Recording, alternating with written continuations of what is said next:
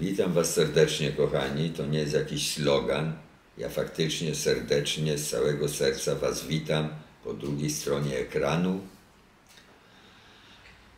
I to jest prawda, a nie slogan, że serdecznie Was witam z dobrymi wieściami.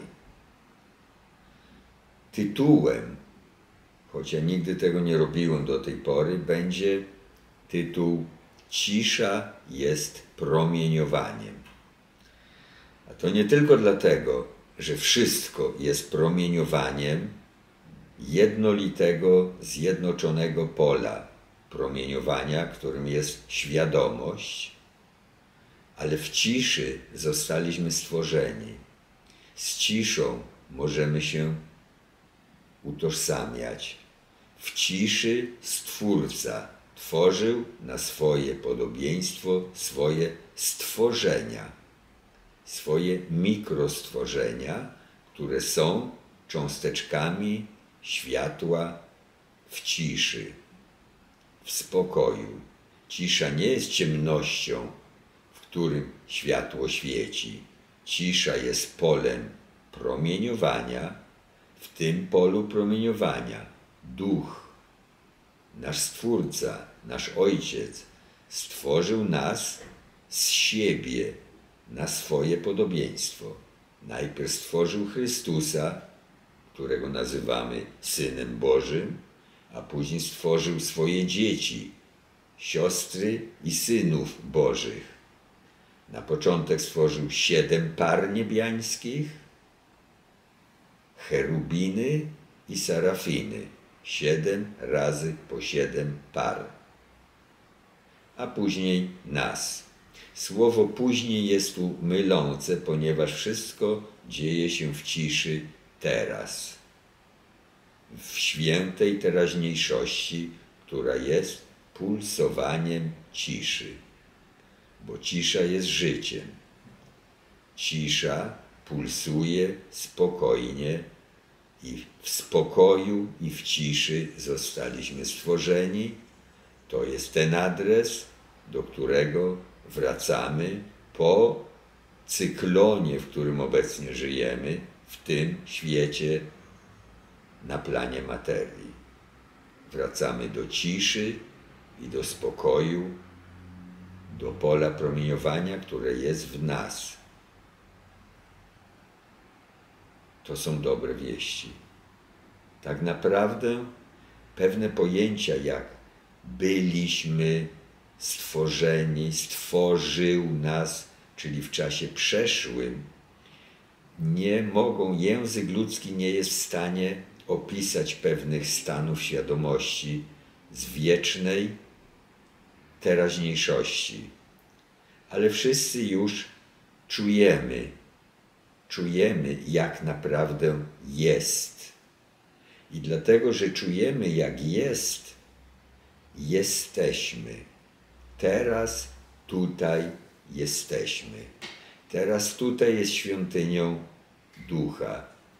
Świątynia nie ma nic wspólnego z budowlami na ziemi, które stworzył człowiek rękami ludzkimi, często nawet nie własnymi rękami, nie te z drzewa i nie te z kamienia, o których mówił Chrystus.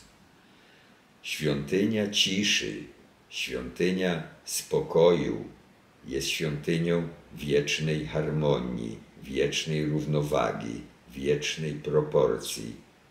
Ta świątynia jest, my jesteśmy żywą świątynią świętego Ducha, która jest teraz w nas i wokoło nas, w każdej duszy, w każdej żywej formie życia, w formach i kształtach stworzonych rękami ludzkimi życia nie ma. Te twory, które nie pochodzą z Boga, nie będą istniały na wieczność, w wieczności, która jest wieczną ciszą i wiecznym spokojem i wieczną harmonią, ale zarazem też wieczną jednością. Niektórzy z nas wracają już uczuciem i czują jedność z całym stworzeniem. Niektórzy z nas jeszcze nie czują do końca, ponieważ ludzkie ego zasłania im możliwość kroczenia do wewnątrz, drogą wewnętrzną, do jedności. Matrix nie zgadza się na to, żeby zbyt dużo dzieci, niewolników oderwało się od Matrixa, od sztucznego życia, od namiastki życia, od iluzji życia i weszło wieczne promieniowanie ciszy, spokoju i jedności. To są dobre wieści. To nie są złe wieści, że Matrix się zgadza lub nie zgadza. Matrix jest iluzją i nie ma swojej woli. Matrix może tylko reagować na ciszę i na spokój. Matrix nie zaistniałby, gdyby nas nie było w ciszy i spokoju. Gdyby nie było ciszy, Matrix nie powstałby, ponieważ nie doszłoby do buntu istot, które chciały opanować te istoty, które nie miały zamiaru oddalić się od jedności, od ciszy, od harmonii i spokoju. Matrix w chwili, kiedy zaczął się kształtować lub został kształtowany negatywnymi uczuciami naszych braci i sióstr, którzy oddalili się od jedności, gdy Matrix zaczął się je materializować, powstała prapierwotna materia. To jeszcze nie była ta materia, którą dzisiaj znamy, którą obserwujemy nawet z pomocą radioteleskopów. To była lekko materializująca się częstotliwość. Trudno to opisać ludzkimi słowami, ale w ten sposób zaczęły otulać się duchy, które postanowiły stworzyć państwo w państwie, królestwo w królestwie. Niepokój, dysharmonię i zarządzać takimi polami. W ten sposób powstał nowy twór w starym tworze. I ten nowy twór dziś znamy na materii pojęcie nowotwór. To jest Matrix.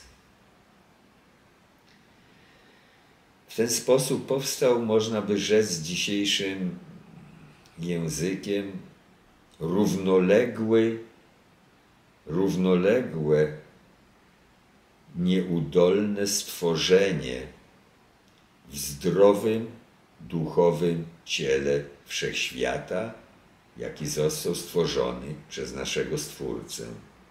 Ten wszechświat nie był materialny ani częściowo materialny. Był duchowy, czysty i duchowy. Ten wszechświat nazywa się niebem, ponieważ to jest stan świadomości, który jest promieniowaniem. To promieniowanie ożywia wszystko, co jest w nim, bo poza nim nie ma już nic. Zgęszczenie, które powstało wewnątrz naszego królestwa, powstało na chwilę, nie było go na początku, nie będzie go na końcu i nie pozostanie po nim pamięć.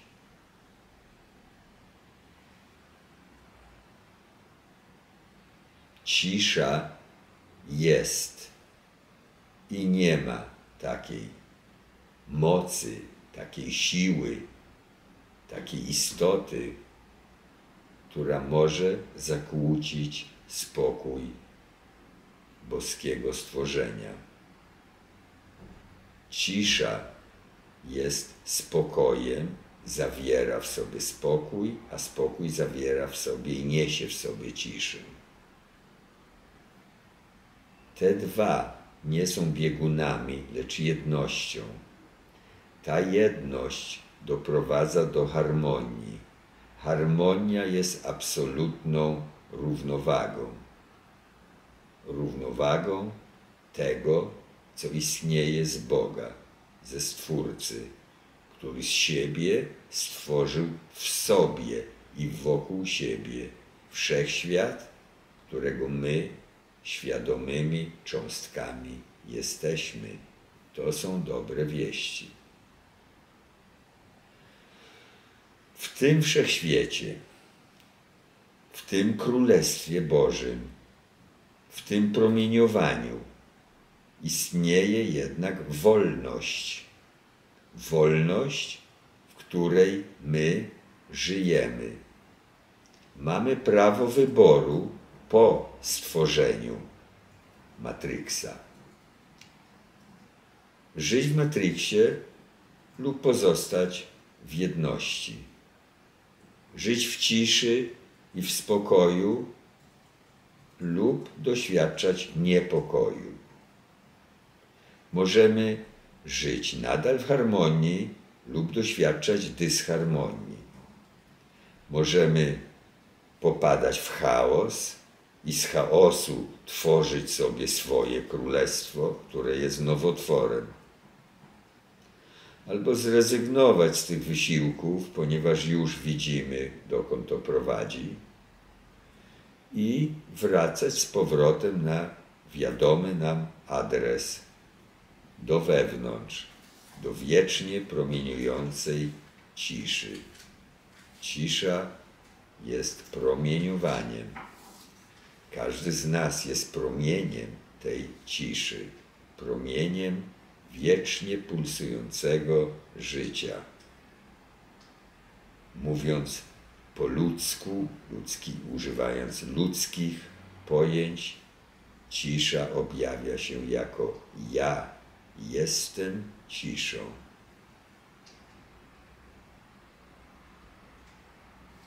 Każdy z Was, kochani bracia i siostry, którzy słyszą i czują w sobie rezonans z dobrymi wieściami, czują, że to jest dobra wieść i czują w sobie swoje imię, które brzmi: Ja jestem ciszą. Dlatego jestem, bo promieniuję ciszą i spokojem.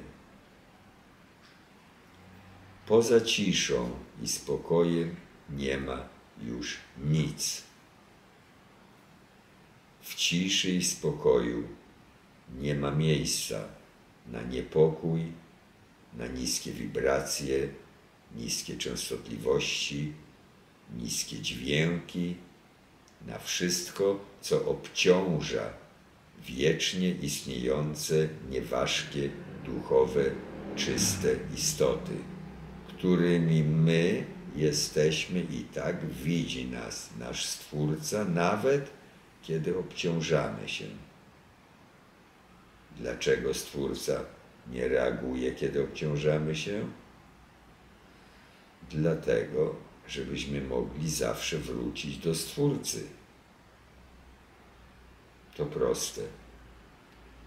Gdyby Stwórca zareagował, byłby zczłowieczały. Nie zczłowieczajmy naszego Stwórcy. Stwórca jest, a my dlatego jesteśmy. To są dobre wieści.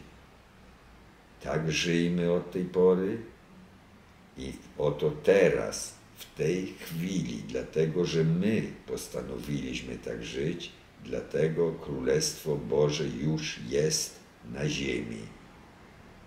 Pośród tego świata Królestwo Boże w Matrixie świeci przepulsowuje i promieniuje poprzez Matrix. Takie jest nasze prawo jako światła. Ożywimy Matrix, ożywimy istoty, które w nim żyją i każda z tych istot, która obciążyła się we właściwym dla niej czasie, za jej zgodą, wybierze drogę z powrotem do wiecznej ciszy, do pola promieniowania wiecznej ciszy. To jest adres, który niesiemy każdy z nas w sobie, po ludzku w głębi duszy.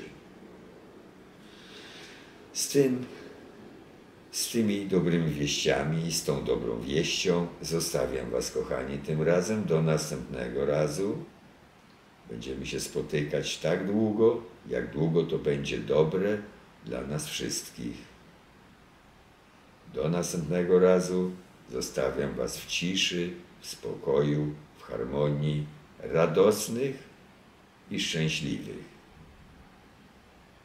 Do zobaczenia po obu stronach ekranu.